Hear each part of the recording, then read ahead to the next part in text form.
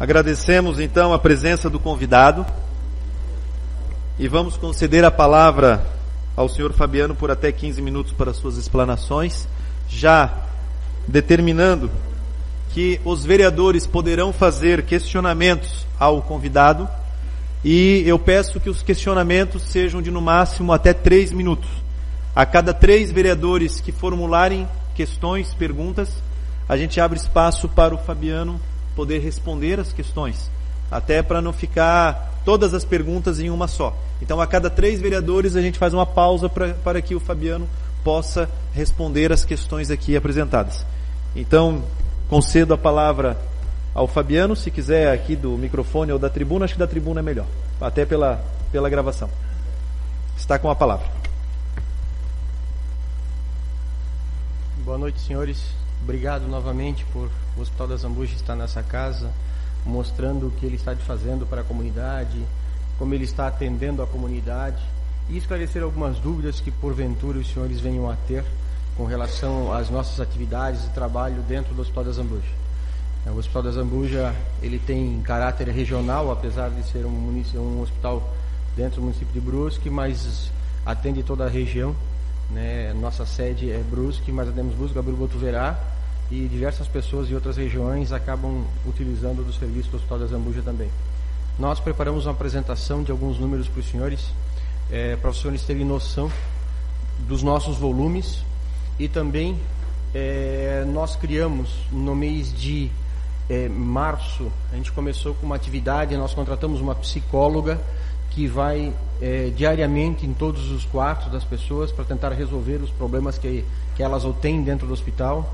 Com isso, a gente consegue humanizar muito mais o serviço dentro do hospital, né? que nós percebemos também que muito mais do que o atendimento que a gente dá é, na área de saúde, o atendimento psicológico, o atendimento social, até porque muitas vezes o ente querido está lá é, em fase terminal, o ente querido está lá sofrendo uma cirurgia e isso também pesa psicologicamente as pessoas que estão lá acompanhando. Então nós procuramos dessa maneira atender da melhor forma possível e humanizar da melhor forma possível o atendimento nosso. Tá? Primeiro slide, atendimento do nosso pronto-socorro. Tá? Esse é o volume que nós atendemos no pronto-socorro 2015, 2016 e 2017 fechado maio, certo? Nossa média em torno de 5.300, 5.500 consultas 2015 é, fomos para 5.700, 5.800 consultas em 2016. Esse ano nós estamos passando de 7 mil consultas mês no pronto-socorro, certo? Pronto-socorro é onde chega todas as ambulâncias, toda essa questão, tá? É, a gente levantou também os dados que nós temos lá. É, infelizmente a gente não pode conectar o sistema do hospital aqui, né? Eu não consigo conectar o sistema do hospital aqui. É, a gente fez a apresentação à imprensa lá e conectamos lá e vimos. É, 92% do volume que a gente atende no pronto-socorro não tem nenhum sinal vital alterado, certo? 7%, 6%, 7% a gente classifica como amarelo, ou seja, tem algum sinal vital alterado, e 2%, 1,8% é emergência, na verdade. Então, 92% desse volume que está aqui né, é um volume que não tem sinal vital alterado algum.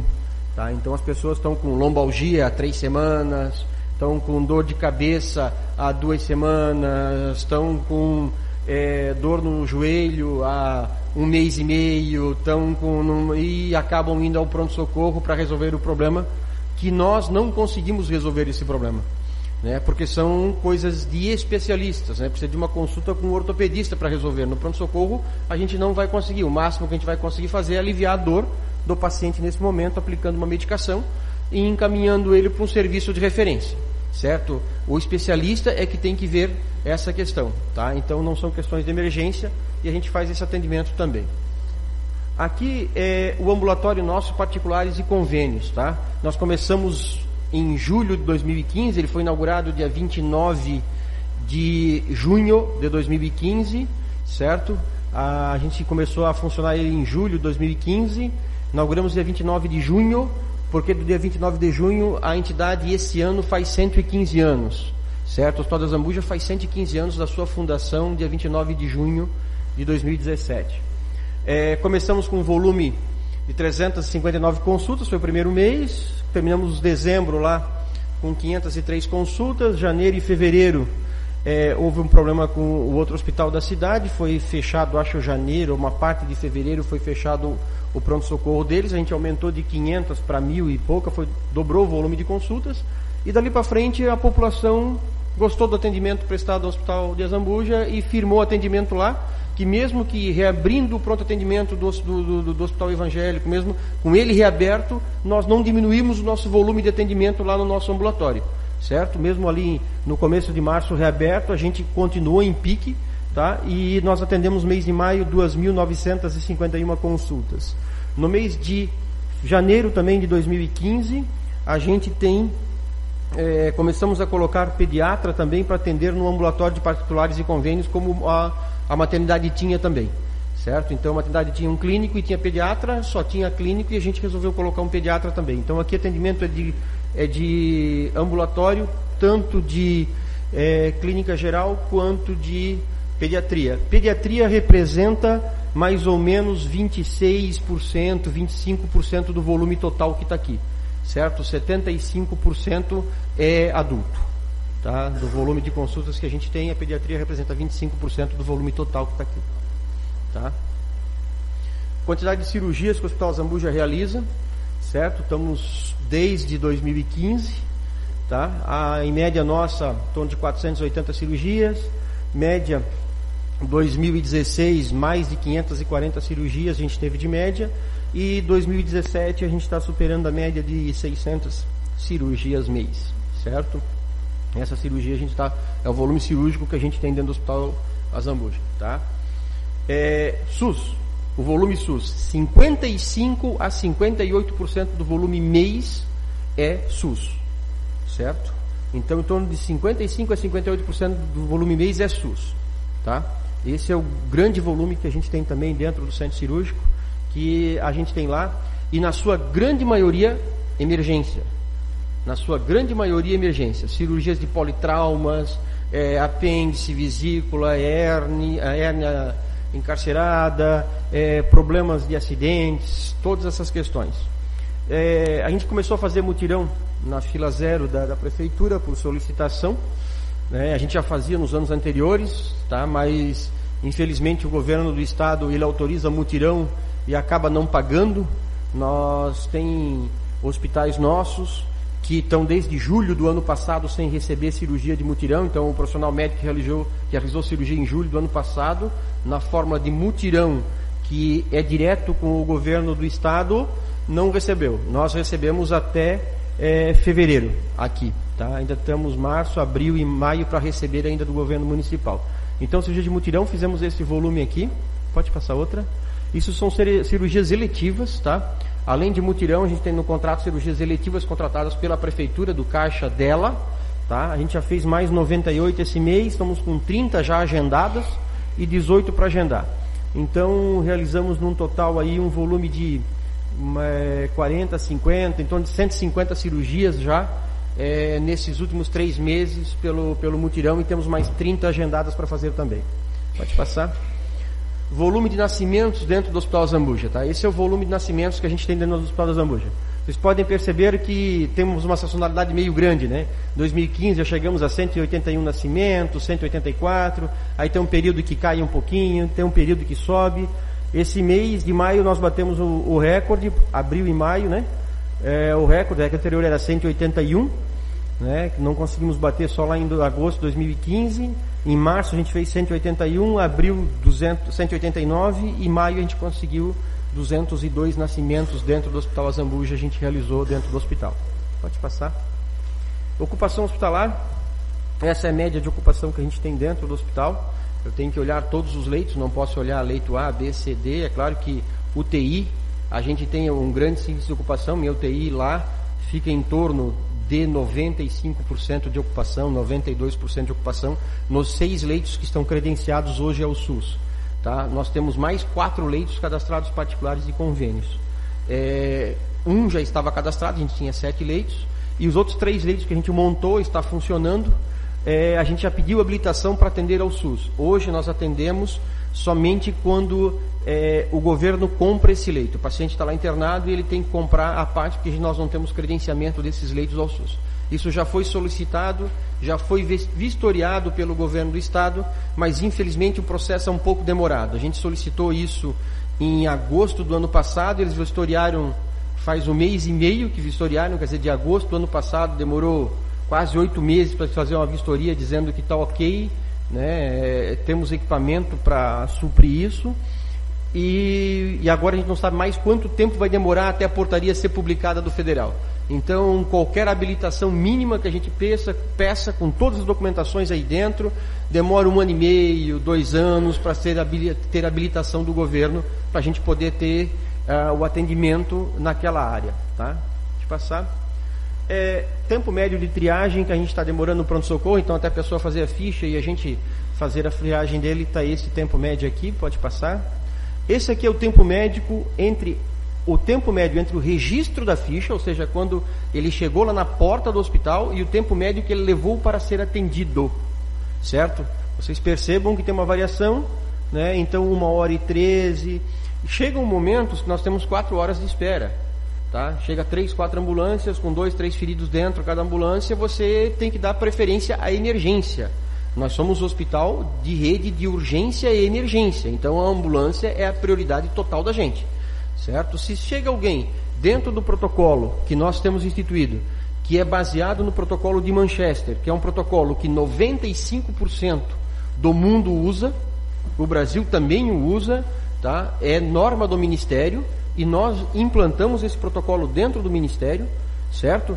Pode se levar até quatro horas. Nós não temos média de quatro horas. Tem muitas vezes, hoje a média de atendimento estava em 22 minutos, para o senhor ter uma noção. O senhor ter uma noção, entre fazer ficha o médico atender, estávamos 22 minutos.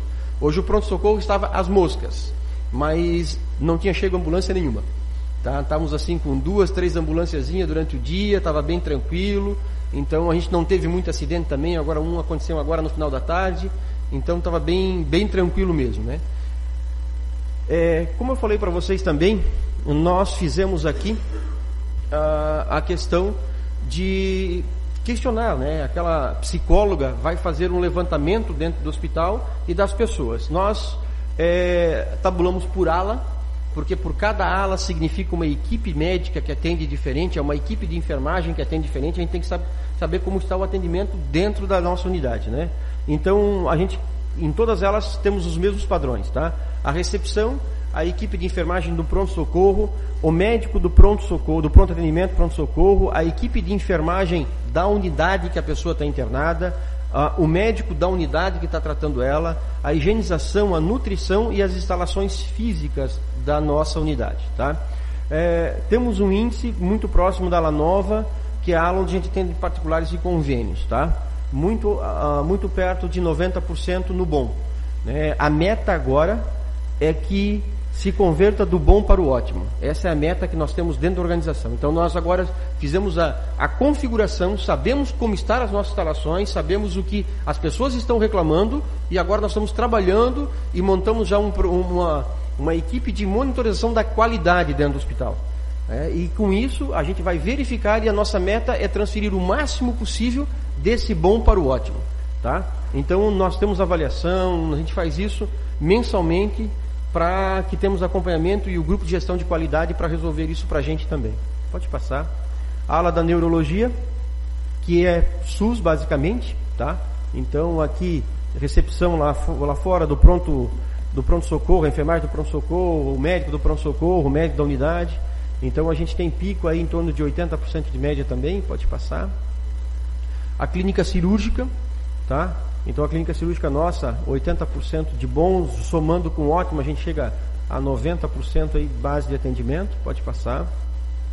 É, a ala médica, a ala de clínica médica é a ala nossa que mais vive lotada, né?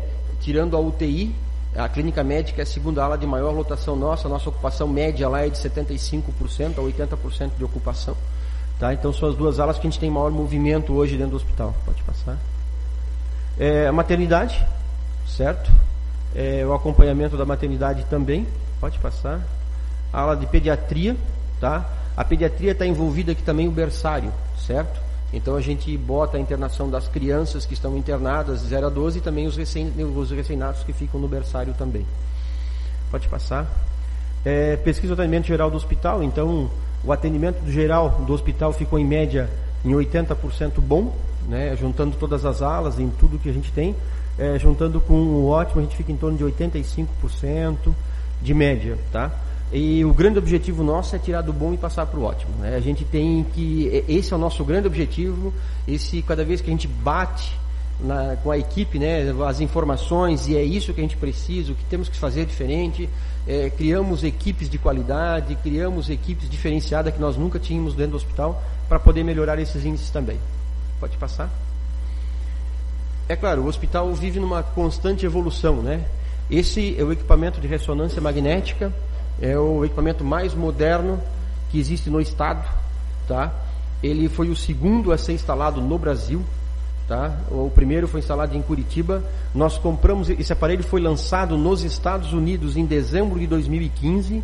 O Hospital Azambuja adquiriu ele em abril de 2016 e nós só podemos instalar em setembro de 2016 porque só em julho a vigilância sanitária permitiu que esse, esse aparelho fosse importado passou nos trâmites aqui e permitiu a importação dele, tá? Então, ele é totalmente digital, tá? Todo de fibra ótica e grande parte das nossas bobinas tem 16 canais. A gente comprou o fluxo de bobina o mais completo que podíamos fazer nisso, tá?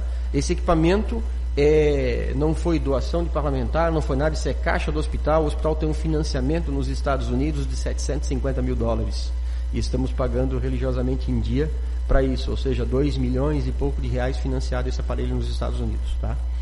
É, é um aparelho que a gente tinha um outro aparelho aberto, mas por necessidade de equipe médica, por necessidade de diagnóstico, por necessidade do hospital, a gente teve que fazer esse investimento para a comunidade também.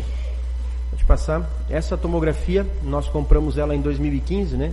O pessoal lá diz que eu não posso pegar férias, porque dois dias antes de pegar férias começa a queimar as coisas, e daí eu não tenho férias, eu tenho que, nas minhas férias, ficar ligando para Deus e o mundo para resolver os problemas, né?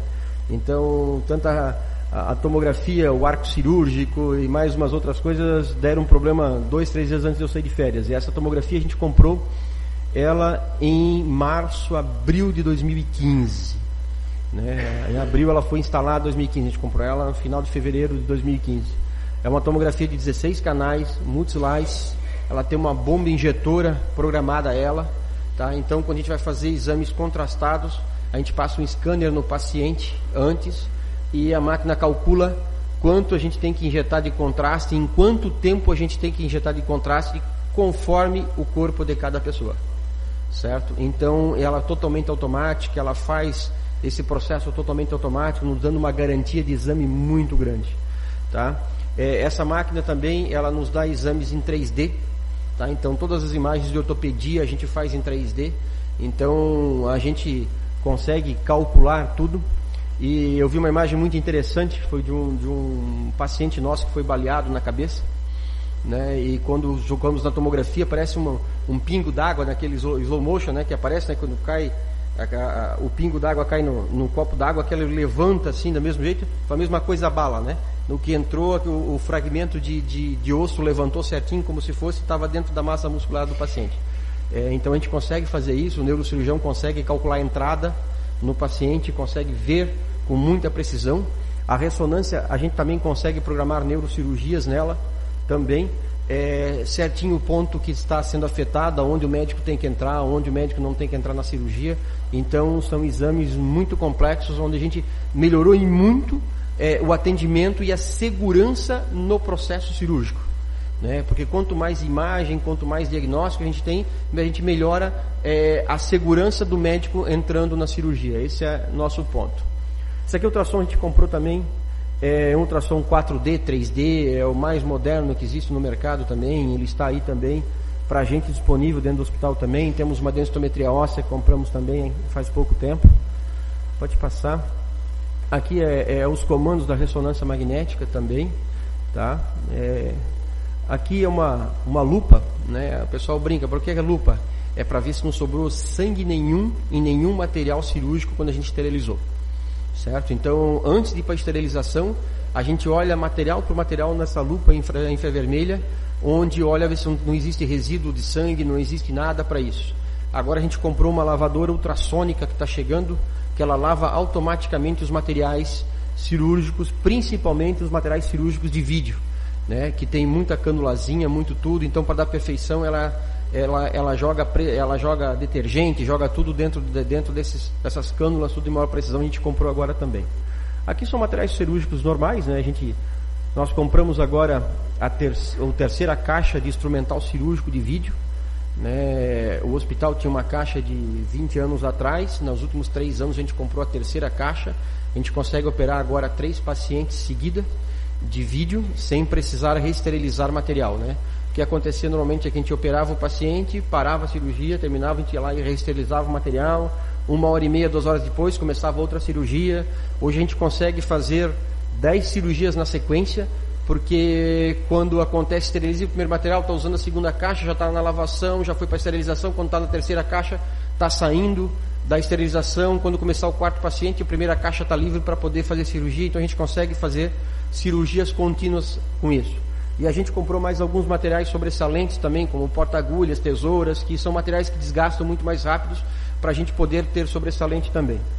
Tá? Investimos agora em torno de 150 mil reais em materiais cirúrgicos. Né? São materiais extremamente caros.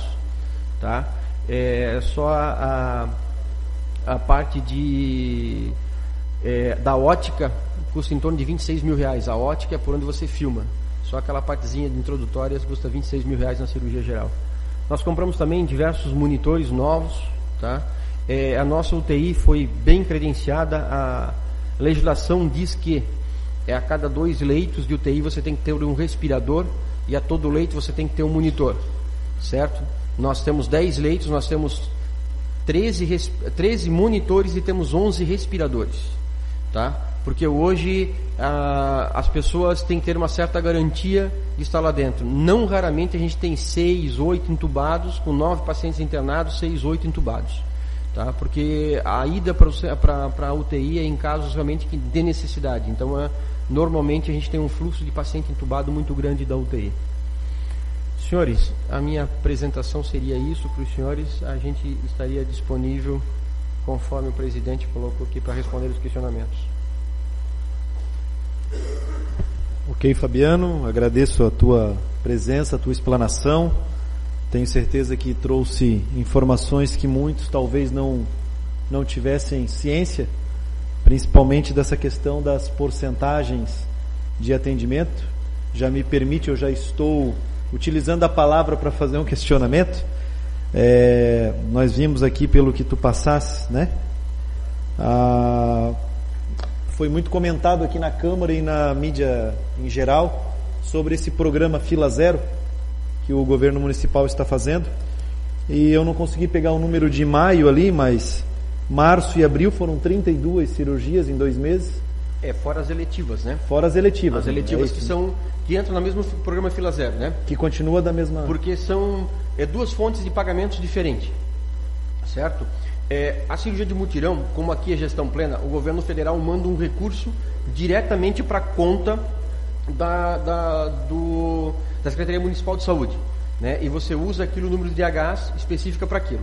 Tá? E quando estoura aquele limite, o governo do estado estaria pagando a outra parte. Tá? E a fila de eletivo é a fila onde vem do caixa 00, que a gente chama do público, né? que é o caixa da prefeitura, que é o dinheiro próprio da prefeitura. Né? Então a gente tem as duas modalidades ali dentro. Nós fizemos mais de 150 cirurgias já nesse período. Né? Estamos programando mais 30 cirurgias aqui. Está programado mais 30, já está agendado mais 30. E temos 18 para agendar ainda ah, nesse, nesse intermédio. Né? Nós tivemos algumas coisas de desistências. Né?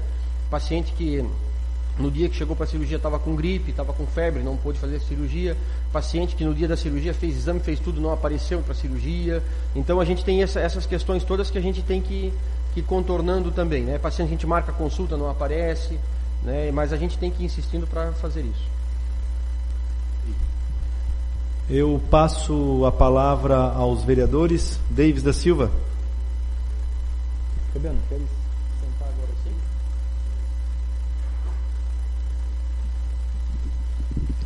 Senhor presidente, senhoras e senhores vereadores, o Fabiano, que é o diretor aí do Hospital Azambuja, Fabiano Amorim. Seja bem-vindo e agradecemos também a sua presença aqui. Eu me recordo que lá em 2003 fizemos parte de uma comissão né, que fez a intervenção lá no Hospital de Azambuja e pudemos trabalhar durante alguns meses juntos. Né?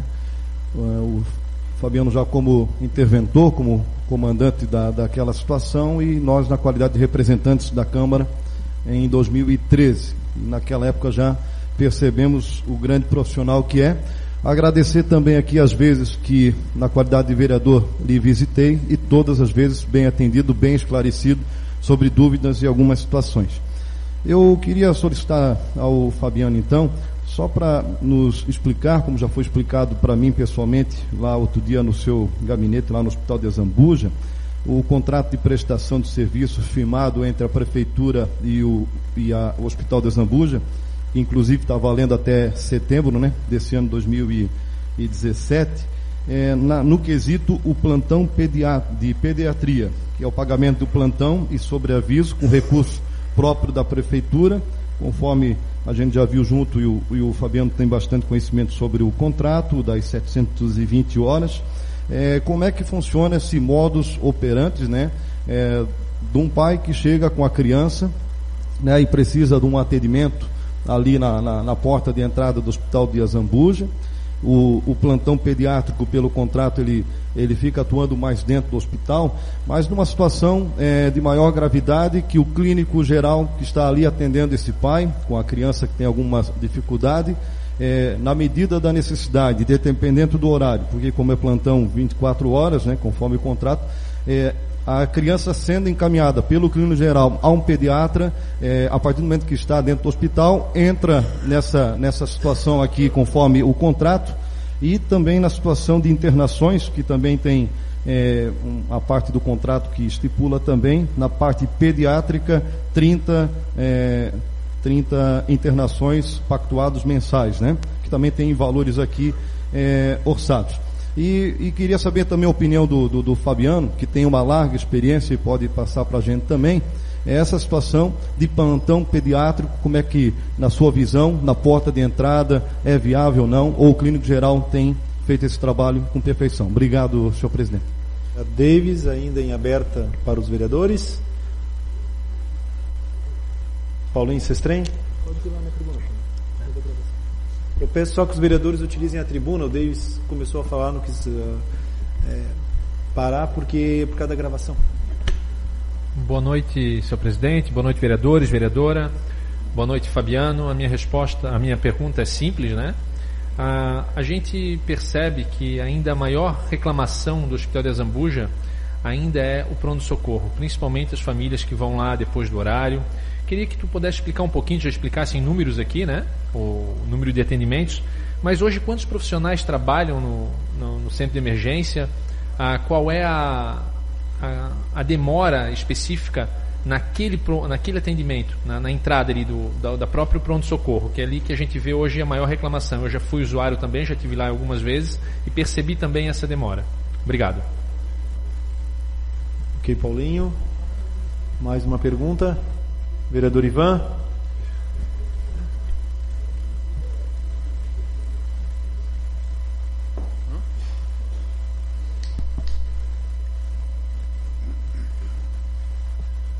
Senhor presidente, senhoras e senhores vereadores, prezado busquenses que acompanham a nossa sessão, quero aqui cumprimentar né, o Fabiano Amorim, é o diretor administrativo do Hospital de Azambuja, dizer que é, uns 15 dias atrás também precisei usar lá o, o, a ala do, do, do imagens, viu, Fabiano? E quero aqui dizer que é, fui muito bem atendido, em menos de 15 minutos fui atendido, né? E todos os raios-x que eu precisei fazer, que foi uma série, é, foi, foi feito nesse período. Então saí de lá extremamente satisfeito, né? E claro que quando a gente é bem atendido, a gente só sai falando bem dizer que o Hospital de Azambuja, sem dúvida nenhuma, né, e não há como negar, né, houve um avanço muito grande, a população está acompanhando isso, né, agora com, essa, com a, o acúmulo né, de, de, de, de, serviço em função do fechamento do Hospital Maternidade é, realmente nós vimos aí que o hospital tem que se virar né, de uma forma mais, mais ágil para poder atender toda essa população. Vimos aí né, a, a estatística que o senhor mostrou para nós. Mas é, é, é, eu queria perguntar para o senhor, é, com respeito, até o senhor citou aqui, há uma grande dúvida, sempre me, nos perguntam sobre por que o hospital de Zambuja não, ser, não, não seja transformado em hospital regional. O que precisaria para ser transformado em hospital regional, né? E qual seria a vantagem ou não do Hospital de Zambuja ser transformado em hospital regional? Né? Porque a gente vê outras regiões, como aí São José, né? o Hospital Regional, a gente vê que é uma estrutura totalmente né, é, é grandiosa, e talvez aí, se passasse o Hospital Regional, de repente nós teríamos aí uma estrutura maior ainda do que nós já temos no Hospital de Zambuja. Era isso, presidente. Ok, vereador Ivan, eu passo então a palavra ao Fabiano para que possa, se quiser, responder aos questionamentos ora firmados pelos vereadores. É, com relação à, à pergunta do, do, vereador Davis, é, a gente já conversou com relação a isso e a gente tem não somente plantão de pediatria, tá? A gente tem plantão de anestesia, plantão de cirurgia geral, plantão de ortopedia, plantão de ginecologia que atende o pronto-socorro.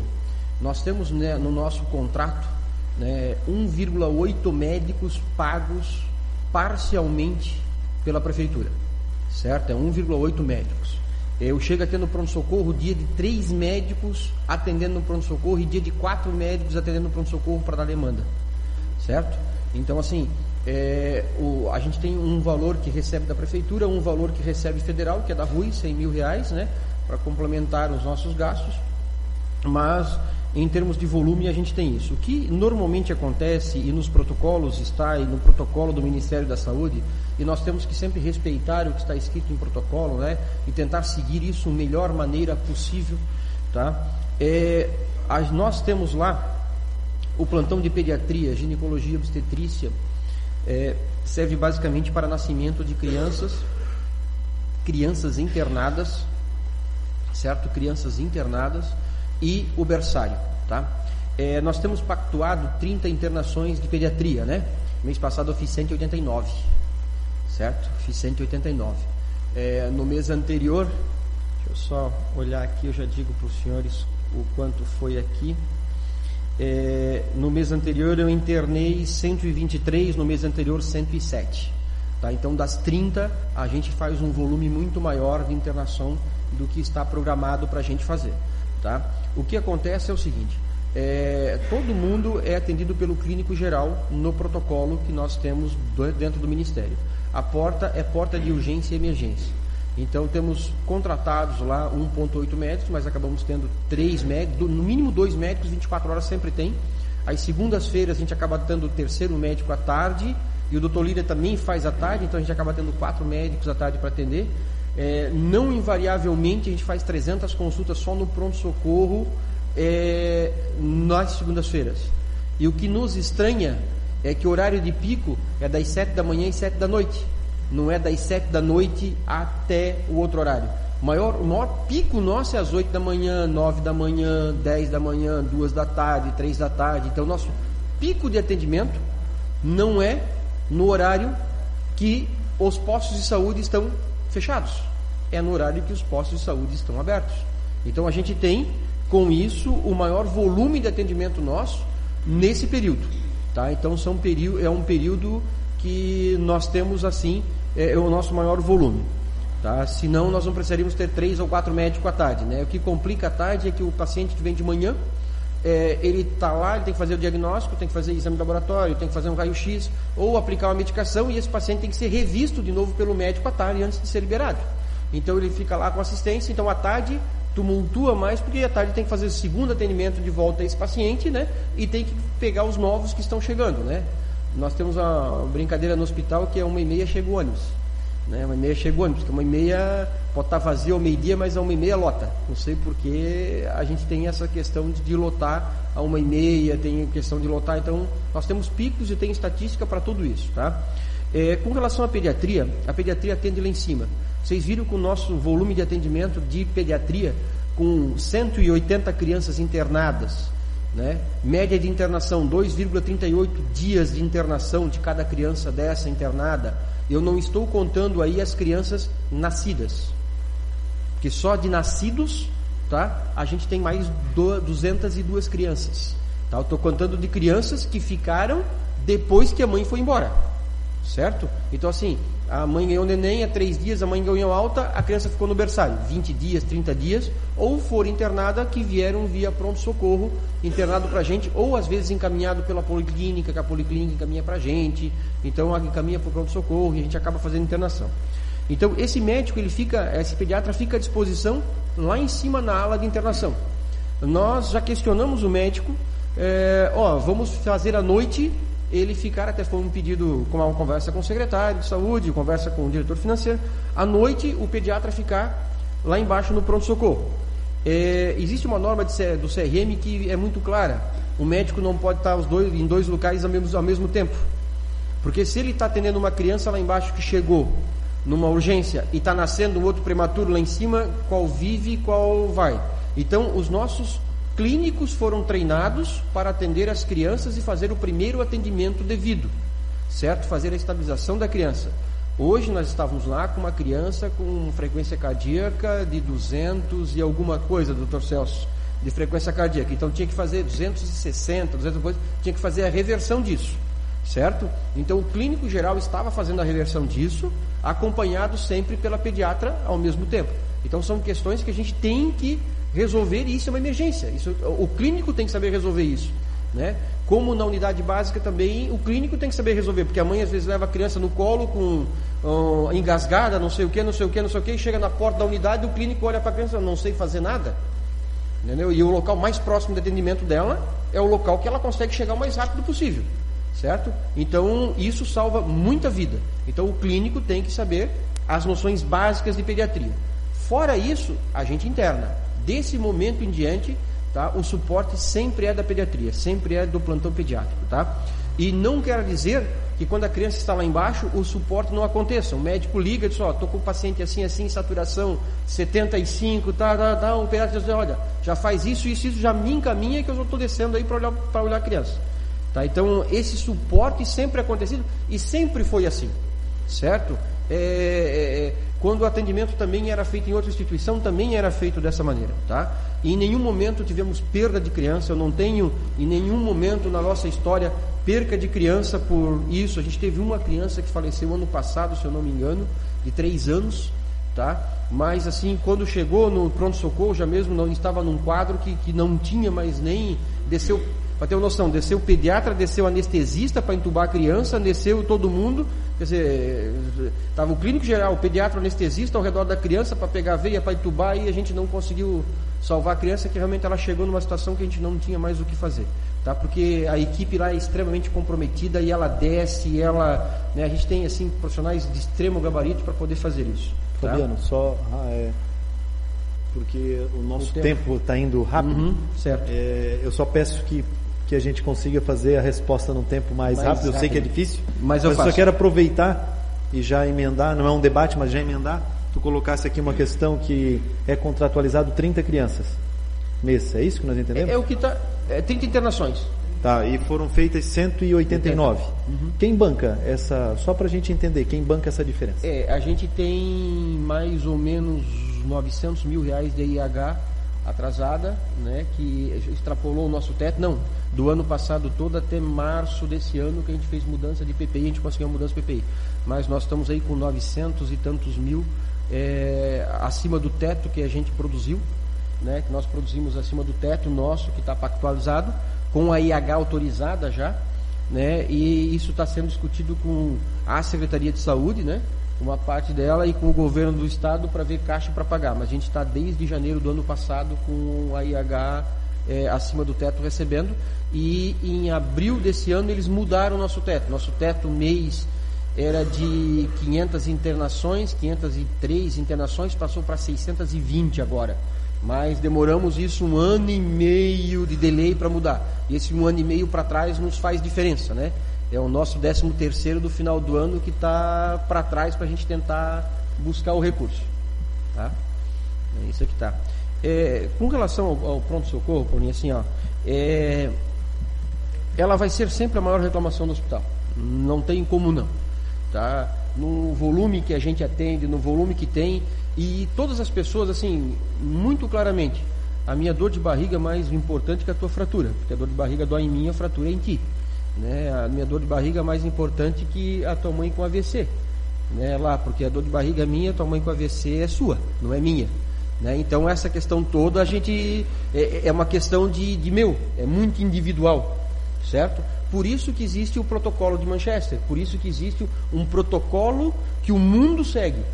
Tá? Existe o protocolo de Manchester, existe o protocolo de Canadá, existe o protocolo suíço. São três protocolos que existem no mundo. Manchester é inglês. 95% do mundo no pronto-socorro, inclusive Estados Unidos, usa o protocolo de Manchester. E o Azambuja usa o protocolo de Manchester, porque o Brasil através de portaria ministerial, diz que nós temos que segui-lo. Tá? Então, assim, o maior índice de reclamação não é o cara que está no amarelo, que está lá com sinais vitais alterados, que tá com, é, tem atendimento, ou que chega da ambulância. 99,99% das pessoas que estão com dor de cabeça três semanas, então, e no horário em que a unidade básica está aberta, no horário que a policlínica está aberta, no horário que se tem. Tá? Então, assim, é, como eu disse, tem dias que chega a 4 horas, tem momentos que chega a 4 horas, tem momentos hoje estava 22 minutos. Tá? Então depende muito dessa questão de chegada. Às vezes chega lá, você vai reclamar de assim, eu vi duas ambulâncias entrar agora. Né? Duas ambulâncias entrou agora, é ambulância. Não, não, não tem o que fazer, a gente vai atender a ambulância. Tá? E infelizmente é, é, é o nosso calcanhar de Aquiles, é o calcanhar de Aquiles de todo hospital que eu conheço. Só a quantidade de funcionários hoje, por exemplo, se eu chegar lá no pronto-socorro hoje, quantos funcionários tem hoje trabalhando? Olha, Dr. Celso pegou um período que tinha um enfermeiro e um técnico, né, Dr. Celso? Um enfermeiro, técnico e um médico. E um médico, tá? Ah, hoje nós temos, à noite, dois médicos, eu tenho dois enfermeiros e mais três é, técnicos de enfermagem. Então eu tenho cinco equipes de enfermagem e mais dois médicos, eu tenho sete. Na área que eu tenho, é, à tarde, por exemplo, tem dia que eu tenho sete, oito pessoas, porque eu tenho quatro médicos, não, eu tenho nove pessoas, eu tenho quatro médicos, tenho dois, duas enfermeiras, uma só para ficar verificando sinais vitais e colocando dentro do sistema todo o protocolo, tudo bonitinho, tá? Com relação a isso. É, a gente teve já algumas manifestações de Ministério Público com relação a isso e nós já fizemos a defesa e mostramos o nosso protocolo de Manchester, como forma, ó, está emitido, está lá, a pessoa não tinha um sinal vital alterado, tá? Ah, mas tem 60 anos. Ah, o pronto-socorro não é por idade, o pronto-socorro é por emergência. Né? Então não importa a idade que a pessoa tem, importa sim a emergência que ela tem. Né? Então a gente defendeu isso em Ministério Público, a gente colocou e sem maiores problemas. Hoje a gente tem de rotina 7. De rotina 7. Sem contar a moça da higienização, né? Sem contar é, uma pessoa para farmácia, que hoje a gente tem uma farmácia específica dentro da, da, da do pronto-socorro. Tá? Então a gente tem uma equipe de farmácia específica dentro do pronto-socorro para medicação. Então, se contar tudo, eu tenho normalmente 9 e vai a 11. Hã? E mais uma que carrega paciente para cima e para baixo. Tá? Então, assim, ó, o custo da minha folha de pagamento só do pronto-socorro não médica tá, me passa de 140 mil reais por mês ter uma noção. A pergunta do Ivan. Ivan, desculpa, Ivan, estava esquecendo de você. É, o hospital regional, existem algumas questões, tá, Ivan? É, primeiro, se ele se tornar um hospital regional, ele normalmente ele viraria um hospital público, certo? A questão de hospital público, o governo do estado ele não quer mais hospital público, ele está louco para se livrar de todos os hospitais públicos que ele tem, tá? Metade do orçamento da saúde que é em torno de 1 bilhão e 800 milhões, fica nos 14 hospitais deles. Tá? Fica nos 14 hospitais deles. É, eles não conseguem fazer, mesmo tendo alta complexidade, o volume de cirurgia que o Hospital Zambuja faz por mês. Né? E a gente tem condições de ampliar o volume cirúrgico. Eu já diversas vezes conversei com o secretário de saúde, é, João Paulo, quando estava lá, o anterior dele também, e agora o Caro Preso também a gente tem um volume de produtividade muito maior. Eles têm muita dificuldade em hospital público de ter isso. Além do que, o hospital público eles têm dificuldade é, com coisas de licitação, com essas questões todas que acabam demorando um pouco mais e falta medicação em hospital e não falta, isso tem. O que alguns locais conseguiram é tornar ele é, em termos regionais. Em termos regionais significa o seguinte, que o governo do estado manda dinheiro todo mês para bancar o hospital. Certo? Tem um hospital lá em Caçador que recebe 600 mil por mês, tem aqui um hospital que é privado, filantrópico, tá? E o governo do estado aporta dinheiro todo mês, aporta. Só que isso é uma questão política. É uma questão que o Hospital Azambuja não pode ir lá pleitear. Isso é uma questão política da região, da região, dos políticos da região ir lá mostrar a importância do hospital, os deputados ir lá mostrar isso, tá? Quando tem, para a gente poder bater, tá? Assim, a gente trabalha, a gente tem mais cinco organizações fora do Hospital Zambuja, então tem uma empresa que a gente administra mais cinco hospitais. Vou dizer assim, estava comentando com uma pessoa hoje, que a gente trabalha em um hospital que não é, não é um terço do Azambuja. E recebeu ano passado 5 milhões de investimento do poder público estadual. Certo? Recebeu 5 milhões de investimento. Eu estou esperando 3 milhões e meio para montar o TI neonatal e não consigo. Tá? Esperando 3 milhões para montar um centro cirúrgico e não consigo. Eles ganharam 5, eu tenho dos 5 hospitais fora, dois ganharam mais de 5 milhões. Sem contar dinheiro para ajudar na folha de pagamento, dinheiro para isso, para aquilo que vem do estadual, que vem de verba parlamentar, verba do deputado, verba. E o Hospital da Zambuja, eu estou ali dentro há quatro anos, eu vi 50 mil até hoje. Eu vi 50 mil até hoje, tá? Então, é, é, é essa questão, que, verba da Câmara que foi, foi destinado da, da Câmara para lá, tá? Então, assim, a gente tem pouca representatividade. É, tem um hospital aí fora que ganha, o Marieta ganha 1 milhão e 800 mil do governo do estado todo mês certo? O Hospital do Caçador 600, o Hospital de Timbó, Oase, vai ganhar agora, eu acho, 80 ou 100 mil reais fixo por mês do governo do estado, tá? Isso, contrapartida de serviço, não, vai ganhar para custeio, todo mês. Agora é a questão de representatividade, tá? Isso qualquer secretário de saúde pode falar, porque isso foi discutido e foi brigado na reunião colegiada deles, por que, que o hospital lá está ganhando lá e os meus outros não estão ganhando certo? Mas conseguiram politicamente 80, 100 mil reais por mês para manter o hospital lá funcionando, como outros hospitais ganham, e a gente não tem a representatividade para isso, Ivan. Obrigado, Fabiano. É aquilo que a gente fala, vereador Ivan, a falta de representatividade política da nossa cidade até a saúde está na emergência, podemos falar dessa forma. Concedo ainda a palavra aos vereadores. Doutor Lima, eu só peço que nós conseguimos uhum. em cinco minutos. Cinco minutos eu, vou, eu, sei que é pedir demais, Fabiano, mas porque o assunto saúde é delicado. É que em cinco tenho, minutos é, para é gente. É que eu tenho uma outra reunião em Blumenau tá às 19h30 também. Sair daqui correndo. Presidente, vereadora, vereadores, pessoas da comunidade, imprensa e o Fabiano Amorim. É, uma das, é, não seria só uma pergunta, seria assim, da análise como médico assistindo os números que ele apresentou, a gente vê que 90% dos atendimentos que o Hospital da Zambuja faz no pronto-socorro é, não são é, situações que seriam, deveriam ser resolvidas pelo Hospital da Zambuja. E aqueles 10% eles estão dentro do sistema, eles têm que ser filtrados e separados desses 90%. Isso gera muitas vezes um volume de, de atendimento que faz com que o Hospital da Zambuja é, pareça às vezes para a comunidade, ah, eu vou para lá, vou ficar uma hora e pouco. Eu com frequência eu tenho feito reciclagens, eu vou a Curitiba muitas vezes operar. Eu tenho um filho que faz medicina lá e eu vou em vários hospitais. Tenho oportunidade com alguns amigos lá, vou operar num, no outro. E eu posso afirmar aqui assim, ó, comparativamente, poucos ou nenhum hospital em Curitiba superam a velocidade e a eficiência que eu vejo, principalmente no centro cirúrgico. Com relação ao pronto-socorro, eu não tenho é, comparativamente no momento. Mas em 1981 eu trabalhava no Hospital Cajuru, em Curitiba, que fazia mil atendimentos em 24 horas. Isso era regularmente há 36 anos atrás. Eu acredito que hoje deve ser muito mais. E dentro desse volume, é, as pessoas cobram muita coisa do especialista.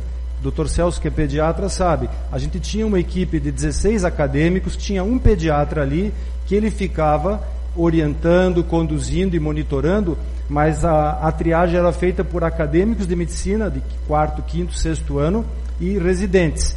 E o pediatra só intervinha quando havia necessidade de um esclarecimento, quando com o conhecimento do treinamento médico, é, aquele profissional, digamos, aspirante a profissional não conseguia resolver. E a gente sabe que as dificuldades e as complicações elas são muito pequenas. Pelo exemplo que o Fabiano colocou, que 3% são urgências, 6% são emergências. Então, é uma porcentagem pequena, mas elas estão confusas dentro daquele volume total. É, eu vi que quanto mais se oferece é, oportunidade, você colocou ali que começou com 500 atendimentos naquele sistema de atendimento diferenciado e hoje está com 2,900. E que do outro, de 5 mil e pouco, hoje está com 7 mil consultas, é isso? Então a gente vê que uma das coisas que acontece é que quanto mais você oferece serviço é, para promover a doença, mais aparece. Então eu vejo que um dos canais para se resolver esses problemas é a prevenção. É começar a educar o povo a saber se prevenir e a evitar as complicações. Eu acho que é o caminho. E enquanto isso, o Hospital da Zambuja vai resolvendo o que tem acontecido durante na cidade, que são os problemas que existem no momento. Obrigado, Lima. Vereador Tuta.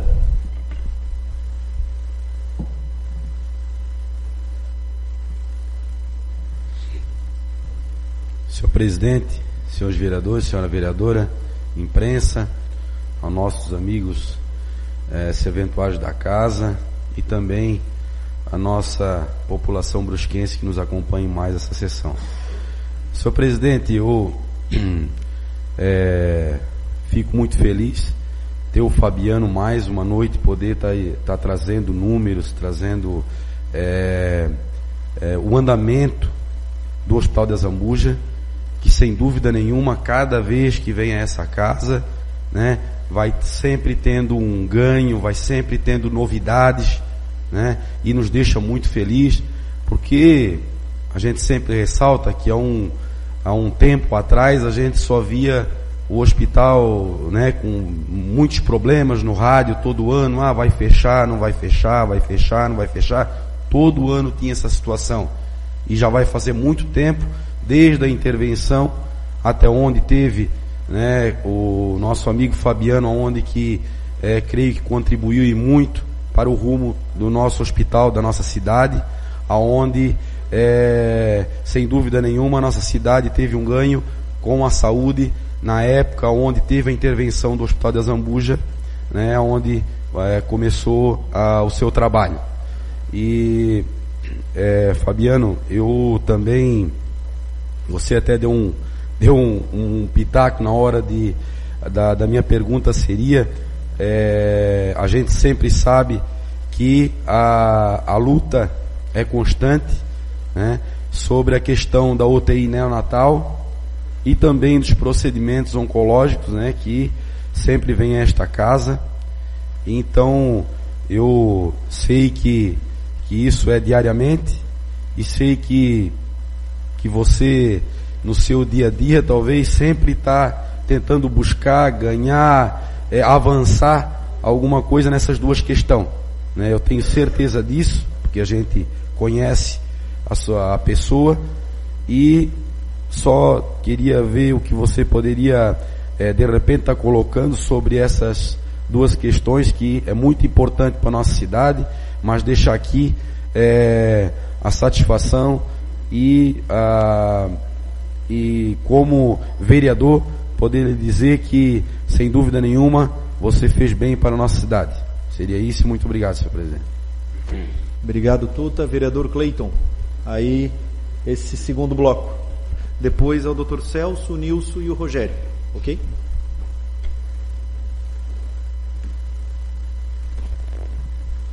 Senhor presidente, senhora vereadora, senhores vereadores.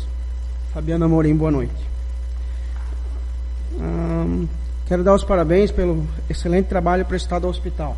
Primeiramente, todas as vezes que levei minha família, fui muito bem atendido. Nos, anos para cá, melhorou bastante o hospital. Quero fazer uma pergunta sobre o ambulatório pediátrico. Por que que quando a gente leva um, nossos filhos ao plantão lá, o pediatra, o ambulatório, aliás, a gente não consegue um retorno de 48 horas? Levei a minha filha faz um tempo, até questionei o senhor na época, o senhor me explicou, foi muito bem explicado, mas gostaria que o senhor explicasse o não retorno do ambulatório para a população, que me cobra bastante isso, vem falando pra, com, comigo com frequência sobre esse assunto. Obrigado. Fabiano, cinco minutos. Cinco minutinhos. É, com relação ao retorno no ambulatório, tá? Ambulatório é urgência emergência. Urgência emergência não tem retorno. Cada vez que você vai lá, teoricamente, ele tem que ser por um caso diferenciado ou por acompanhamento, né? É diferente de um consultório onde você paga 300 reais a consulta, você tem direito a um retorno. Tá? Nós não cobramos 300 reais uma consulta de consultório, porque não é uma consulta de consultório, é uma consulta de emergência. Tá? E como o SUS, como um todo, cada vez que a pessoa vai lá, é uma nova ficha que tem que ser feita, uma nova avaliação, uma nova triagem, a gente tem que fazer todo o acompanhamento novamente. Tá? Então a gente não tem retorno no ambulatório pediátrico por causa disso. Tá? E a gente também, às vezes, encontra dificuldade, encontra muita dificuldade em fechar o nosso quadro lá, porque faltam pediatras, né? Então, Celso resolveu se aposentar e mais alguns né? E aí falta pediatra para gente e, e realmente é, é, é, complicado, doutor Celso. Plantão de 24 horas, dia de 12 nascimentos, dia de 10 nascimentos, com 4, 5 internados lá na, na em incubadoras e mais 20 crianças internadas no outro lado. O médico às vezes começa a prescrever às 8 da manhã, às 6 da tarde, ele está prescrevendo ainda porque nasceu isso e aquilo, ele não, não conseguiu parar pelo volume que tem também. Então a gente está assim bem, é, bem nesse volume. Com relação ao TUTA, UTI, oncologia e eu encontro mais uma coisa que é bariátrica, tá? A oncologia bariátrica, a gente acabou de encaminhar, terminou de encaminhar os papéis. A oncologia, o plano a, estadual foi, a, foi aprovado, tá? Então a gente encaminhou a documentação. A bariátrica está sendo montado o plano estadual agora para ser aprovado pelo Ministério para depois receber. A UTI neonatal, ela já foi aprovada o plano estadual em 2014, nós entramos em 2014, tá? É, já está aprovado 10 leitos de UTI para Zambuja, é, UTI neonato, só que depois de aprovado, a gente teve que mandar as plantas para vigilância sanitária. E vigilância sanitária é uma coisa que vai e volta, vai e volta. A gente demorou dois anos para aprovar nossas plantas aí dentro. Então ficamos 14, 15, 16 para aprovar a planta. Tá? Porque não adianta você pedir o dinheiro, você tem prazo para usar o dinheiro. Você pede 3 milhões de reais para fazer, para entrar com a papelada, ela diz o seguinte, em um ano vocês têm que usar os 3 milhões de reais. Aí, em um ano não ficou aprovada a planta, tem que fazer o quê? Devolve o dinheiro. Se você devolver o dinheiro para o governo, tá? Você depois, para pegar de novo, tem que vir para outro trâmite, outra. Então, o processo é fazer o trâmite corretamente, tá? Nós tivemos uma alteração e discussão básica com vigilância sanitária com relação a isso. A gente fez uma, aprovou a planta do centro cirúrgico a gente tem um acesso entre centro cirúrgico e centro obstétrico interno. Aí a vigilância disse, não, então fecha esse acesso que não pode ter. Aí fizemos o TI neonatal e centro obstétrico, separado. Aí quando foi para aprovar, a vigilância perguntou o seguinte, tá, mas se a mulher do parto normal tem que fazer a cesárea, o que tem que fazer? Conforme a ordem de vocês, tem que sair do centro obstétrico e entrar na porta do centro cirúrgico. Ah, não, não dá. Tem que ter um acesso interno de novo. Vai lá, refaz as plantas tudo de novo, de centro cirúrgico, centro obstétrico, TI, porque daí primeiro não podia ter, depois tem que ter, e você fica na mercê e foi dois anos essa brincadeira. Então, 2016 foi aprovado, e agora a gente tem que dar continuidade a essa questão toda também. Aí nesse embrólio, no meio do caminho, a gente estava com o ProSUS aprovado pelo Ministério da Saúde. É, três requisitos para ter o ProSUS. Era dificuldade econômica e financeira, está devendo dinheiro para o governo e aumentar a produção SUS. E provar capacidade econômica financeira. Quatro é, nós tínhamos dificuldade financeira, por isso não pagávamos imposto, aumentamos a produção SUS e a capacidade econômica financeira, depois de dois anos e meio pagando imposto em dia, eles disseram que nós não tínhamos capacidade de pagar imposto, foram lá e cortaram o ProSUS. Tivemos que entrar na justiça e demoramos um ano para ter o documento de volta. Tá? Então, na justiça foi três meses, mas para a Receita reconhecer a, a, que a justiça deu, foi seis, oito meses para ele nos dar o papel de novo, dizendo que a gente está ok de novo. Agora recebemos o papel e vamos fazer novamente a CND também. Então, assim, existem N embrólios que uma não conversa com a outra e a gente tem que resolver isso. É, com relação ao atendimento, doutor Lima, é, eu vejo assim que eu conheço muitas regiões, né? conheço muitas cidades e muitos atendimentos. Tá? Eu tenho um caso que eu gosto de relatar e relato para vocês com muito orgulho do atendimento que o Hospital da Zambuja fez em 2015 de uma criança. Essa criança me visita até hoje. Né? O pai dela me visita até hoje dentro do Hospital da Zambuja. Um menino de 7 anos que ele foi atropelado na faixa de pedestre quando ele estava indo para a escola. Uma moto pegou ele. Isso foi meio-dia e 15. Meio-dia e 25, como era na Zambuja, ele estava na Zambuja, a ambulância trouxe, meia hora ele estava na Zambuja. É, desse momento, o clínico atendeu ele, que no caso era o nosso diretor técnico, o Dr. Pussi. Nesse momento, viu o estado da criança e dando medicação, é, fratura de perna, é, o abdômen estava distendendo, já não estava, estava meio confuso, e dando medicação para a criança apagar, para nós podermos fazer os exames nela, e a criança não apagava, não apagava. Demos dose, ele disse, Fabiano, dar, vamos dar dose de adultos. Deu dose de adulto, a criança apagou, e a última palavra que ele disse para o pai dele, segurando a mão, disse, pai, me perdoa. Então vocês imaginam o estado que o pai ficou naquele, naquele instante quando a criança apagou. Levamos naquele instante, é, na tomografia, fizemos tomografia de abdômen, crânio e fizemos perna dele, tá? É, nesse momento, o ortopedista já olhou no centro cirúrgico, o neurocirurgião estava na casa, já olhou a tomografia de crânio. Isso, a uma hora da tarde, já estava intervenção no centro cirúrgico pelo cirurgião geral, ortopedista, porque a cavidade foi pior, arrebentou o estômago dentro dele, na pancada. Então, foi isso. Ficou na nossa UTI adulto por três dias. Uma criança de sete anos ficou na nossa UTI adulto por três dias. Em oito dias ela saiu do hospital e hoje ela visita a gente ainda tranquilamente. Então, assim, nós temos suporte, temos equipamento e temos gente para atender qualquer tipo de emergência. E a gente bota até criança na, na UTI adulto quando precisamos sim. A gente faz, a gente tem que salvar vidas. Esse é o padrão ouro do Hospital da Zambuja. Obrigado, Fabiano. Doutor Celso. E eu sou testemunha disso, né, Fabiano? 42 é. dias o meu sogro ficou na UTI e passaram várias crianças lá também passaram. naquele período. Senhor presidente, senhores vereadores, amigos que nos acompanham nessa tarde, tarde e noite, Fabiano, é, eu entendo, senhor presidente, que os números apresentados aqui por si, por si só falam muito bem. É, demonstra realmente uma capacidade gestora, profissional do Fabiano, e nós conhecemos o Fabiano muito bem. É um dos ases, eu acho, desse Brasil, em administração hospitalar. Lembro que o. Não me lembro o nome do, do gestor, mas do, do, da rede São Luís.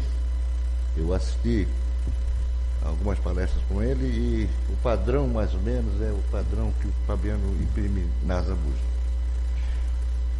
É, além de parabenizar o teu trabalho, Fabiano, eu gostaria aqui também de reiterar é, o meu singular reconhecimento ao trabalho dos colegas médicos que estão naquela casa há muitos anos de forma dedicada, eu, a maioria eu conheço, comprometida né, e, por que não dizer, humana. Então fica aqui o meu reconhecimento à classe de médicos que labutam no Hospital de Zambuja. Fabiano, eu só uma pergunta muito simples. Uhum. É subsídio que o hospital recebe a nível de Estado, é, nível de, de União e município, só para a gente ter uma, uma noção. Uhum. Obrigado, doutor Celso. Vereador Nils Pereira.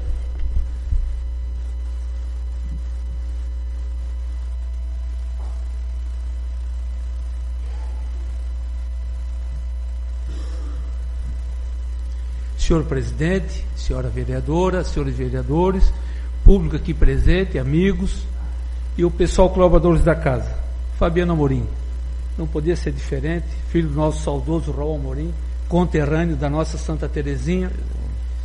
Gostaria aqui só de enaltecer o seu trabalho.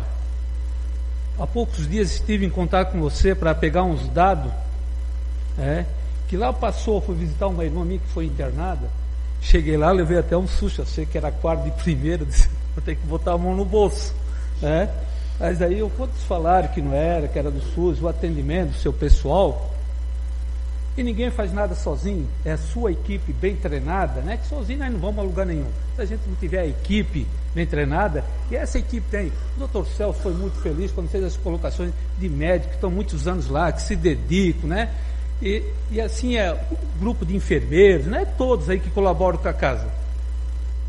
Você falou aqui também que sempre quando a gente chega no pronto-socorro, primeiro da gente, né? Não quer saber se a mãe está com AVC, a mãe do outro, se eu estou com uma dor de cabeça, eu tenho que ser atendido. Fabiano, daria para fazer algum trabalho, porque a gente nunca sabe quando vai chegar o próximo acidente, não tem como se organizar. Né? Mas alguma campanha orientando as pessoas, porque já passei por lá, agora não, até passei lá, as pessoas chegam lá, às vezes ficam muito alteradas, né? porque quer um filho, como aqui foi colocado do vereador.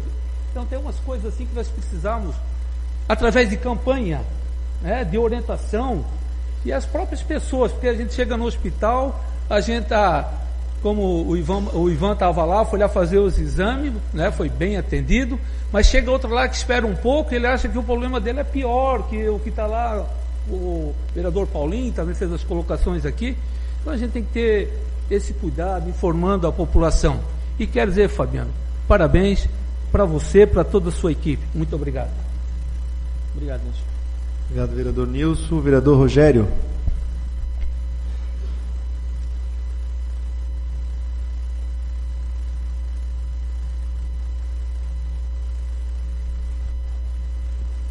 Senhor presidente, senhoras, senhores vereadores, amigos que nos acompanham nesta noite, imprensa, nosso convidado especial, senhor Fabiano Amorim, que tive a honra de ser seu professor no antigo Colégio Estadual Santa Terezinha, na década de 80, inclusive com seu saudoso pai como nosso diretor. É uma satisfação tê-lo aqui. Gostaria de parabenizá-lo pelo excelente trabalho que você está desenvolvendo no Hospital de Azambuja, com todos os funcionários, sua equipe técnica, né, os médicos, enfermeiros, enfim. Então fica aqui o nosso reconhecimento né, do município de Brusque pelo excelente trabalho que vocês têm desenvolvido. E hoje, ao ler o jornal Município, me senti muito feliz que vocês estão criando agora no Hospital de Azambuja o grupo de valorização à vida. Bastante importante, até inclusive em função do alto índice de suicídios no município de Brusque, em toda a região aqui do nosso, da nossa cidade. Então gostaria que você, por gentileza, pudesse narrar um pouquinho sobre a criação desse grupo, que foi a ideia, né, do estudante do nono período de psicologia, o senhor Robson Machado, que fica aqui também as minhas congratulações. Inclusive, na noite de hoje, eu estou fazendo uma moção de congratulações ao Hospital de Azambuja, à direção do Hospital de Azambuja e também a estudante que teve essa brilhante ideia de criar esse grupo, grupo que nós temos certeza, né, com orientação psicológica e terapêutica, vai auxiliar muito os, os, os munícipes aqui da nossa cidade. Obrigado e meus parabéns. Obrigado, Rogério. Obrigado, vereador. Cinco minutos para o Fabiano nesse bloco. Isso. E eu já consultei os demais vereadores. Após a sua explanação, eu vou dar a palavra ao Marcos, que é o autor do requerimento, por até cinco minutos para fazer suas considerações. É, doutor Celso, é, agradecer aos senhores e aos senhores as palavras. É, é, a questão que a gente já colocou aqui, a gente tem equipe de qualidade, equipe disso, equipe daquilo. Então, é, o Fabiano fica pouco na casa. Né? O Fabiano tem que pensar muito, ele tem que estar tá lá em, em Brasília, tem que estar tá batendo. Esses dias eu fui num jantar só com deputados e senadores lá em Brasília para ver se consegue mais verba também. Então ele tem que sair daqui para se deslocar, para se colocar. Então, ah, pô, ficou um dia todo na estrada para poder jantar com os caras. É, mas tem que pedir dinheiro, é o jeito de, de lá pedir dinheiro, tem que falar com eles. Se não falar com eles, tu não consegue ter dinheiro. Tá? Então, essas as funções que tem que fazendo. E a equipe tem todo o mérito. Tá? O Hospital Zambuja tem 405 funcionários fechados, temos 120 profissionais médicos que trabalham lá dentro, profissionais há mais de 40 anos trabalhando lá dentro, tanto médico quanto de enfermagem. A gente tem pessoas com 45 anos de casa, então são pessoas que é, labutam há muito tempo e, e, e, e fazem a casa crescer e têm vontade que a casa o cresça. Né? Então a gente está tá muito contente porque por trás do Fabiano tem uma equipe, tá? A equipe é que faz tudo. O Fabiano só está lá de figurinista. A gente só diz A, B, C, D e a, e a turma acaba executando para a gente. É, de recurso, doutor Celso, nós estamos assim, ó. O Estado manda 32 mil reais mensais que não está mandando desde setembro do ano passado. Certo? Então é 32 mil reais que desde setembro do ano passado o Hospital das Zambuja não está recebendo. Então estamos aí, vai, daqui a pouco faz um ano que nós não recebemos os 32 mil reais do Estado. Tá? É, do município, 520 mil reais de plantões e sobreaviso. Tá? Nosso custo de plantão e sobreaviso é 744 mil por mês. Então 520 é da prefeitura. É, 100 mil reais é uma verba de, de, rede de urgência e emergência, que é a verba total que vem para pagar empregado de pronto-socorro, material, medicamento, tudo que se tem, a gente usa para pagar plantão.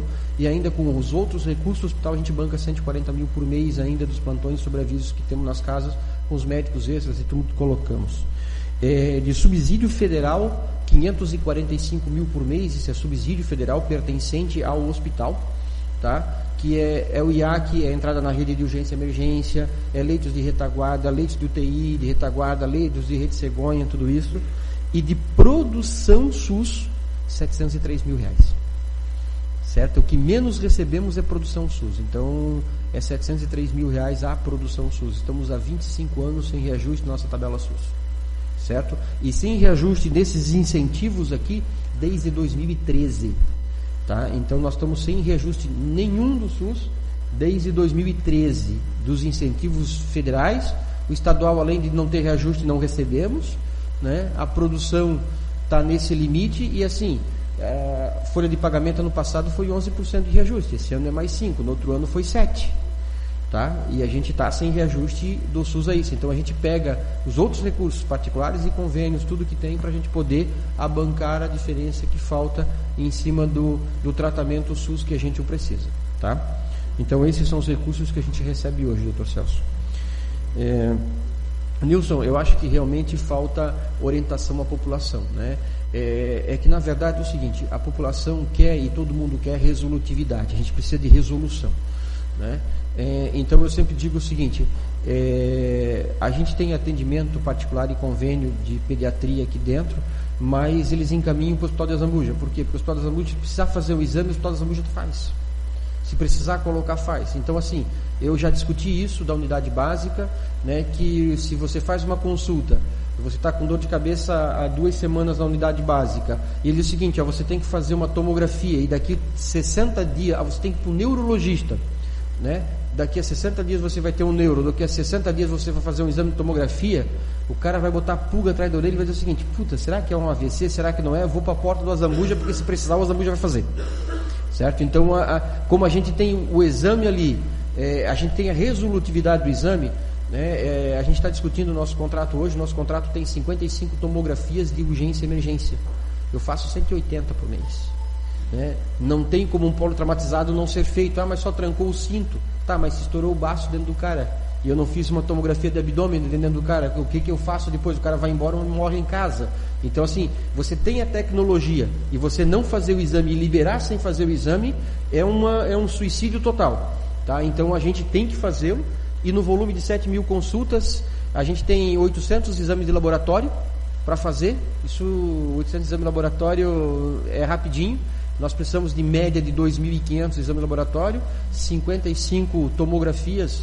A gente precisa aí de 200 tomografias para fazer para isso, tá? Mas é, o incentivo é temos que educar a população o que que é urgência e emergência, o que que é paliativo, o que que é isso é um trabalho dos agentes de saúde e é um trabalho da unidade básica em fazê-lo. Então isso é uma estratégia que tem que ser montada dentro da política de saúde como disseminar isso, como fazer isso, é eles que têm que fazer. Tá? E, e, Rogério, assim, a gente tem uma preocupação muito grande com relação ao suicídio, porque a nossa grande massa de suicídio é de crianças, tá? Crianças que eu digo são meninas e meninos de 15 e 16 anos. Então, assim, o nosso grande massa que está lá dentro e às vezes fica na UTI e tudo são tentativas de suicídios de pessoas de 14, 15, 16 anos, 10 anos, 12 anos. A gente não, nosso grande volume de tentativa de suicídio não é 40, 50, 60, são crianças para mim. Tá? Então, assim, hoje é, o Estado já tinha um psicólogo, hoje tem três psicólogos e temos trabalho com a Unifeb para fazer esse trabalho de psicologia, porque a gente vê o que falta é orientação psicológica, é orientação à população para a gente fazer um trabalho diferente. Hoje nós temos uma psicóloga que fica lotada visitando as pessoas, temos uma psicóloga no RH lotada para atender as nossas, a nossa população também. Por que disso? Porque nós lidamos com, com, com doença. E a nossa população também fica doente. A gente tem 400 funcionários que atendem gente doente, gente com problema o tempo todo. Então a gente tem que dar um acompanhamento psicológico à nossa equipe, porque daqui a pouco ela vai estar doente também. Então a gente tem que fazer esse trabalho também. E a gente faz um trabalho, é, a outra psicóloga nossa fica no pronto-socorro. Justamente é lá onde chega a maior parte dos nossos problemas. Né? Quando você perde alguém da família lá no pronto-socorro, sua mãe está com AVC, seu não acidentado está lá dentro, tentativa de suicídio, então a gente deixa durante o dia, que é o maior parte do volume, um psicólogo no pronto-socorro também para fazer atendimento. A gente acha que isso é um atendimento humanizado. Então, de um profissional que a gente tinha, a gente está tendo quatro profissionais de, pronto, de, de psicólogo trabalhando dentro para fazer diferença. A gente quer fazer diferença. Obrigado, Fabiano. Como autor do requerimento, concedo a palavra por cinco minutos ao vereador Marcos Deichmann. Senhor presidente, senhoras e senhores vereadores, plateia aqui presente, sou Fabiano. É, gostaria primeiramente de agradecer por aceitar o convite de estar nos explicando toda essa situação do, do Hospital da Zambuja. É, não veio só como esclarecimento, mas também acredito que como é, um puxão de orelha, né, chamar nossa atenção a respeito do que anda acontecendo na nossa cidade, sobre algumas coisas que foram explanadas aqui pelo Fabiano, que são a demanda de 92% de casos é, clínicos atendidos no pronto-socorro hoje, que é direcionado só para urgência e emergência.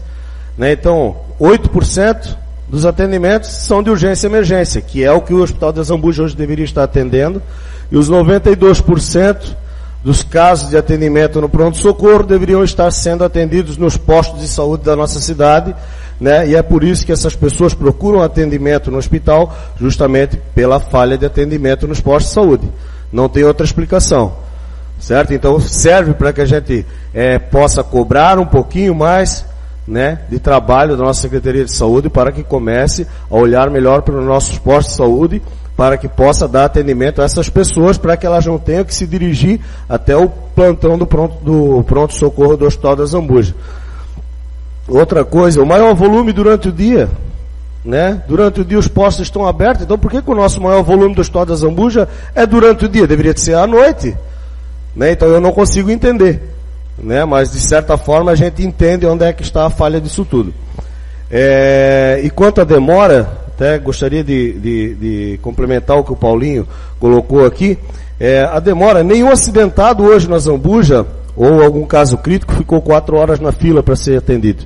Né? Então, justamente, é por causa desse, desse, desse trabalho né, de triagem, que a gente é, é específico em urgência e emergência, que a gente faz os atendimentos de urgência e emergência. Infelizmente, quando alcança aquele pico máximo de pessoas, acaba esperando três a quatro horas na fila, mas com nenhum, é, com nenhum perigo de vida, né? E acaba saindo ali. Só que o atendimento no posto como o Fabiano é, esclareceu, né? às vezes demora 90 dias para você fazer um raio-x e ter um retorno. Lá você demora, fica 4 horas na fila, mas você é atendido, faz o exame, tem o diagnóstico e sai dali com a receita para ser medicado. São de 5 horas para 90 dias, é um tempo bem.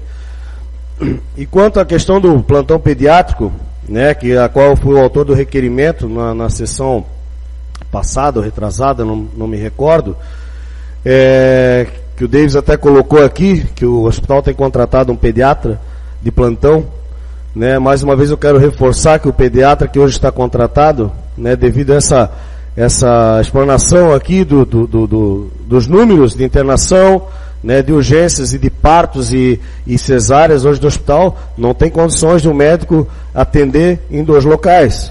Né? Hoje, se ele está dentro do hospital, um, um parto né, pode durar até duas horas do tempo do, do, do, do, pediatra. Imagina, hoje nós fazemos é, uma média de sete partos por dia, que foi colocado aqui. Ele não vai ter tempo de descer no pronto-socorro para atender uma urgência emergência, sendo que 92% também são casos clínicos que não são urgência e emergência. Então, a, a ideia do plantão pediátrico justamente é para essas crianças aqui de, de, casos clínicos que hoje também não tem na rede pública de saúde, são muito pouco. É só para atender essa demanda aqui. Né? Como foi colocado, é, dois corpos não podem é, ocupar o, o mesmo espaço, né? É, só que na Câmara acontece isso, né? De as pessoas trabalharem em dois lugares, que é na Prefeitura e na, na Câmara. Isso acontece, mas no hospital não tem como. Infelizmente, então, fica valendo o requerimento do plantão pediátrico, né? Mais uma vez reforçando para que se coloque mais um médico é, pediatra, subsidiado pela Secretaria de Saúde, para que a gente possa atender as crianças dentro do pronto-socorro ou na rede pública. Então seria isso. É, Sobre o suicídio, também gostaria de colocar que o hospital está fazendo o papel de pai e mãe hoje na sociedade, porque eu acredito que os adolescentes hoje que cometem esse tipo né, de, de, de de ação contra a vida, justamente é porque não tem respaldo em casa, né? São totalmente esquecidos pelos pais e o Hospital de Azambuja faz esse papel lá dentro também. Então eu gostaria mais uma vez agradecer ao Fabiano, parabenizar mais uma vez pelo trabalho e eu, né, sou suspeito de falar, mas trabalho há 23 anos dentro do Hospital de Azambuja e tenho a certeza que em quatro anos de gestão desse cidadão, o hospital cresceu 20 anos. Muito obrigado, senhor presidente. Obrigado, Marcos. Concedo, concedo três minutos para o Fabiano fazer as suas considerações finais. Primeiramente, queria agradecer a oportunidade de estar aqui explicando novamente a população e a gente faz questão é, de vir aqui colocar e, nem sempre é, é, agradável você dizer né, que a dor de barriga de um é mais do que o outro, mas são situações que acontecem todas as horas com a gente, né? E, e, é, e, é, complicado, nós somos seres humanos, né? Meu pai também tem prioridade, minha mãe também tem, né? Então nós temos que lidar isso de maneira diferente. Então nós temos que ter técnicas, né? É, agradecer também toda a equipe do hospital que, sem sombra de dúvida, trabalha 24 horas por dia, 365 dias no ano, sol, chuva, feriado, dia santo, seja o que for, o hospital está de portas abertas, internando o seu plantão, tudo lá para receber a todos. Né? E eu conheço muitos hospitais da região e posso garantir à população que ela está em boas mãos. Né? Ela está em boas mãos. A gente tenta fazer o máximo possível dentro da técnica de administração e da técnica em conjunto com a equipe médica para trazer o melhor possível para a população no melhor eh, qualidade possível também, tá? Queria nesse momento também agradecer a, a diretoria do hospital em nome do Padre Nélio que é uma pessoa singular, uma pessoa de extrema humildade e reconhecimento, né? Eu sempre digo isso e sempre vou dizer isso, porque eu comecei como interventor, né? Então eu comecei administrando no lugar dele. Então uma pessoa que é, você retirada do posto e depois lhe convida para continuar administrando a casa significa que tem humildade o suficiente e reconhecimento que lhe é devido, né? Até pelo pela questão toda religiosa, toda a formação religiosa que ele tem, ele fez isso e provou isso, né? Que realmente isso faz parte da índole dele, faz parte da formação dele, isso também. Se não fosse essa questão, com certeza absoluta, a gente também não estaria aqui. E toda a equipe que assessora ele também, sempre assessorou, e a gente tem um bom relacionamento há muitos anos, né? Eu tenho um bom relacionamento com o hospital desde a década de 90, então a gente tem bom relacionamento, a gente sempre conhece, conheci as pessoas lá dentro e sempre lidei com eles há muito tempo. É, agradecer a todos pela confiança né, e no que contar, pode contar com a gente, que nós estamos procurando é, tornar o Azambuja uma, um diferencial. Tá? Nós temos ideia de lançar um app de celular ali na frente, tá? onde qualquer pessoa vai conseguir ver como está a fila no Azambuja e quanto tempo está na espera no Azambuja. Então a gente espera, estamos fazendo parceria isso com a universidade e a gente quer lançar esse app que qualquer um vai poder acessar, botar seus dados, acessar ali dentro e vai ver o seguinte, pô, tem 20 na fila, tem 15 na fila, está demorando em média 20 minutos, está demorando em média 40 minutos para ser atendido no hospital. Tá? Isso em primeiro momento. Em segundo momento, a gente quer disponibilizar também essa app. Se eu estou me sentindo mal em casa, eu já automaticamente, como estou com os dados cadastrados, eu dou ok, estou dizendo que eu estou indo para Zambuja e meus sintomas mais ou menos são esses. Quando ele dá o ok, já me faz a ficha lá automaticamente. Quando chega, eu só confirmo e a enfermeira faz a triagem também. Então a gente quer uh, otimizar isso à população, quer deixar claro à população a transparência. Nós não temos que esconder nada a ninguém, que a gente demora uma hora e meia para atender, a gente demora uma hora e meia para atender mesmo. A gente tem protocolos para fazer isso, a gente segue normas e a população tem que estar sabendo de todas as informações e com informações ela consegue decidir o que é melhor para ela no, no seu caminho. Então isso é importante para a gente também do hospital. Obrigado. Obrigado, Fabiano. Eu peço escusas aos todos os vereadores. Infelizmente, hoje o assunto foi de grande relevância e nós acabamos não tendo condições hoje de usar a tribuna para as manifestações individuais de cada vereador, mas a gente viu o quanto foi importante e parabéns ao Marcos Deichmann por ter né, trazido à Câmara essa discussão e a todos os vereadores que aprovaram por unanimidade a vinda do gestor do Hospital Azambuja, porque realmente a saúde hoje em Brusque é uma das, é, das, das situações mais discutidas pela nossa comunidade. E é nada melhor do que a casa do povo, onde se faz essa discussão, para que a gente possa trazer essas informações. Eu suspendo a sessão por três minutos para as, a, as despedidas protocolares e logo depois a gente, a gente já retorna para cá.